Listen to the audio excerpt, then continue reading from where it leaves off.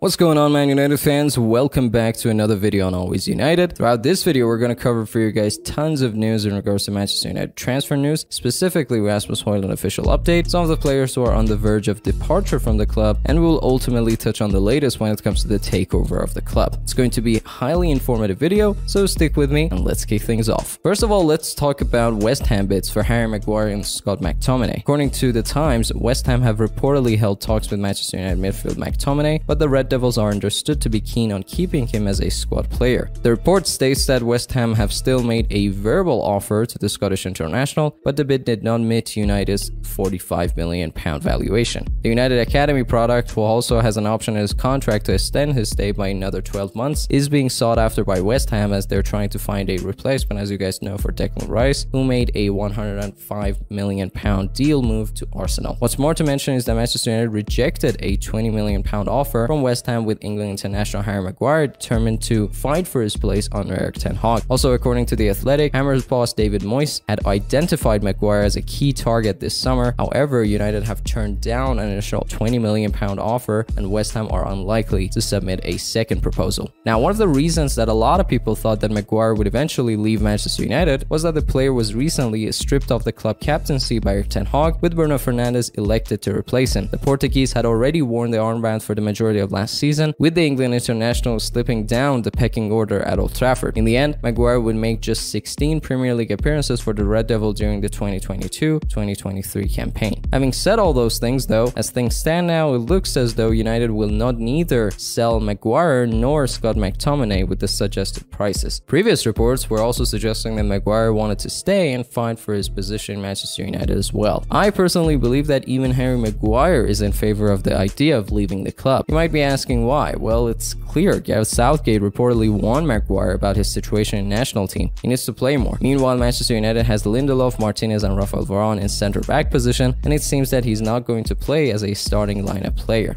So he must choose. Either he can stay and fight and lose his position in national team, or leave and prove himself to Gareth Southgate one more time. But then again, what do you guys think about this situation? Share your thoughts with us in the comment section. Next up, it can't hurt to also talk about all the latest in regards to Facundo Pellistri. The player could once again leave Manchester United on loan as Boca Juniors have shown interest in signing him for the 2023-2024 season. The Argentine Giants are reportedly considering approaching Manchester United for a loan move for the Uruguayan attacker, according to journalist Luis Fergosi. If a temporary move materializes, Pellistri will move away from United for the third time since joining the club in 2020. He had earlier spent the second half of the 2020-2021 season and the entire 2021-2022 season on loan at Alaves before returning to Old Trafford last season. It's also worth mentioning that Spanish side Real Sociedad are reportedly in talks with Manchester United over the signing of midfielder Donny van de Beek on a season-long loan. According to the latest news from Spanish websites, Real Sociedad are closing to signing the Dutchman for the 2023-2024 campaign with the option to make the deal permanent should the 26-year-old impress in La Liga. Next up, let's also touch on the situation of Kobbie Mainoo and his injury. Mainoo started United's preseason friendly against Madrid earlier this week, however, a moment of savior turned sour when a free collision with Rodrygo ended up forcing the 18-year-old from the pitch. Now the midfielder has taken to social media to send a defiant message to United fans. The Red Devil Academy product wrote, and I quote, I'll be back stronger and in no time. Thanks for your messages and support. United boss Erik Ten Hag, was unsure how long the youngster would be out injured for, hopes Mainoo will be back soon as more chances will come his way this season. He was really impressive during the preseason era of this campaign. Mainoo will be in a period of rehab in the coming days and weeks and he will hope the injury is not too serious. United season begins in August 14 as you guys know against Wolves. Unfortunately, officially it's also been announced that the player will be away of the pitch for at least two months. Now before we move on, if you want Kobbie Mainoo to have a speedy recovery, definitely hit that like button. It also helps out with YouTube algorithm and also consider subscribing to Always United for latest Manchester United news. Now it's time to talk about Rasmus Højlund. Guys, it's pretty much official. We should welcome Rasmus Højlund with open arms since the latest report from David Ornstein from Athletic states that Manchester United have reached an agreement with Atalanta. Fabrizio Romano has also confirmed this acquisition, which means that there is nothing to concern about. Hopefully the player can solve Manchester United's striker problem which we have been facing for some time now. Now, if you're wondering how much the player eventually cost, it is reported that Manchester United will pay 75 million euros plus a 10 million euro add-on. Hojlund will also undergo medical tests next week. The deal will also last for about six years, which is great in my humble opinion. Share your love and your support and also your thoughts about Rasmus Hojlund and what you think of the player. Now, as for Sofyan Amrabat, according to the Telegraph, Manchester United can pave the way for Amrabat joining the club through selling a bunch of players this week. Telegraph report also suggests that this week is a vitally important one for Sofyan Amrabat and Manchester United. The player is now Manchester United number one priority after the successful acquisition of Rasmus Hojlund. Last but not least, I'm going to provide you guys with an update in terms of Manchester United takeover. I know we have all grown tired of hearing about the takeover and Glazers are not going to leave our beloved club anytime soon as things stand. Meanwhile, Manchester Mayor Andy Burnham says no one feels completely comfortable about Qatari Royal Sheikh Jassim potentially taking over Manchester United. With the Glazers holding out for a high asking price, Mayor of Manchester Andy Burnham has raised concerns about a possible Qatari takeover but added issues over the nation's human rights record are for the UK government. Sheikh Jassim has insisted he's bidding as a private individual rather than a state entity, but there are growing concerns about state ownership in the Premier League. There are also reasons to believe that the takeover might not happen at all since the Glazers might have given up on selling the club and they might want to stay and earn more money from Manchester United. Not to mention that according to Daily Star, the Glazers have now changed their mind once again and demand 8 billion pounds for selling the club, which means that they no longer accept 6 billion pound offers. The situation is getting more and more complicated by the minute and remains to be seen what the eventual fate of the club will be. But until then, I'm curious to know your thoughts on the latest reports. Guys, thank you so much for sticking with me until the end of this video. Definitely share your thoughts on all the news we covered for you guys throughout this video. Hit the subscribe button if you want to be aware of latest Manchester United news and also consider liking this video which can really help us with YouTube algorithm. Now, if you want to hear even more Manchester United news, here are some suggestions. And until next time, it's been a pleasure serving you guys.